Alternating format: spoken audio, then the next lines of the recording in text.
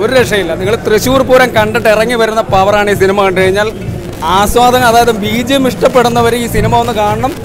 ഉറപ്പായിട്ട് നിങ്ങൾക്ക് ഇഷ്ടപ്പെടും. നൂറ് ശതമാനം ഞാൻ പറയേണ്ടത് നൂറ് ശതമാനം നമ്മുടെ പൈസ മുതലാവും. ഒരു പ്രേക്ഷകൻ എന്ന നിലയിൽ ആദ്യമായിട്ടാണ് സിനിമ കണ്ടിട്ട് ഇത്രയും ഭയപ്പെടുന്ന ഒരു സിനിമ.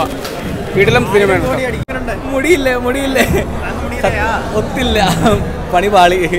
ഏ എനിക്ക് പേഴ്സണലി വർക്കൗട്ട് ആയില്ല കേട്ടോ. കാരണം മാനാട് മങ്കാത്തേക്കെടുത്ത ചാൾ ഇങ്ങനത്തെ പടം ലൈക്ക് ഫസ്റ്റ് ഹാഫിൽ കുറച്ച് മാസ് സീൻസ് ഒക്കെ ഉണ്ടായിരുന്നു. പക്ഷേ അവിടെ ബീജം എന്ന് പറഞ്ഞൊരു സാധനം ഇത് ഏത് ആരാണോ അത് മ്യൂസിക് ചെയ്തത് ഒരു ഒരു ഫീൽ പറഞ്ഞത് അല്ലെങ്കിൽ ഒരു മാസ് ഫീൽ സീൻസിലുണ്ടായിരുന്നു കുറച്ചും കൂടി ഇമ്പാക്റ്റ് കിട്ടായിരുന്നെങ്കിൽ ഒരു മ്യൂസിക് ഉണ്ടായിരുന്നു. Second half clap worthy moments ഉണ്ടാവും എന്ന് വിചാരിച്ചു. പക്ഷേ കോമഡി ആയിരുന്നു. ഒരു തോന്നിയത് ചെറിയൊരു പോരാ എന്ന് വെച്ചാൽ ഒരു ലിയോയുടെ ഒരു ഹൈപ്പില്ല ഇതൊരു ഫാൻ ബേസ്ഡ് പടമാണ്. തട്ടുപൊളിപ്പൻ ഫാൻ ബേസ്ഡ് പടം. ഓക്കെ അങ്ങനെയുള്ളവർക്ക് ആയിട്ട് കാണാം.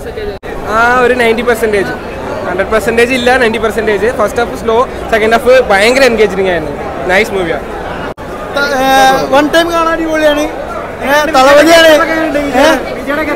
വിജയുടെ ഗെറ്റപ്പ് എന്താ പറയില്ല. മാസ് പറഞ്ഞ അടിപൊളി മാസ്. പക്ഷേ പടം വൺ ടൈം കാണാൻ അടിപൊളിയാണ്. ഫാൻ ബോയ് ഹാപ്പിയാണ് ഗ്രേറ്റസ്റ്റ് ഓഫ് ഓൾ ടൈം അത്ര പറയാം